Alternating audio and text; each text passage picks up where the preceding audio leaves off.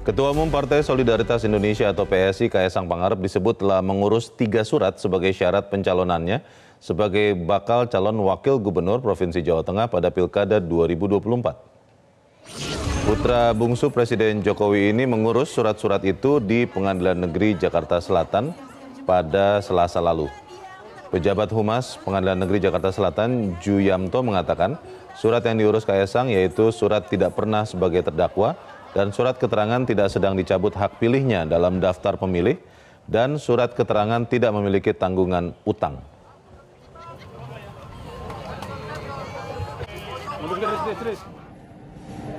Menjawab pertanyaan dari rekan-rekan media terkait dengan informasi eh, diajukannya permohonan surat keterangan oleh pemohon atas nama Kaisang Pangarep ke Pengadilan Negeri Jakarta Selatan. Setelah kami cek di kepaniteraan hukum Pengadilan Negeri Jakarta Selatan memang betul ada permohonan tersebut yaitu surat keterangan tidak pernah sebagai terdakwa surat keterangan tidak sedang dicabut hak pilihnya dalam daftar pemilih dan surat keterangan tidak memiliki tanggungan utang secara perorangan atau secara badan hukum yang menjadi tanggung jawabnya yang merugikan keuangan negara.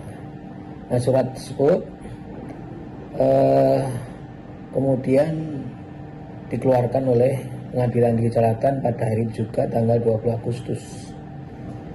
Karena sesuai dengan SOP terkait dengan layanan surat keterangan yang dimohonkan oleh e, masyarakat, memang SOP kami adalah e, di proses pada hari itu juga.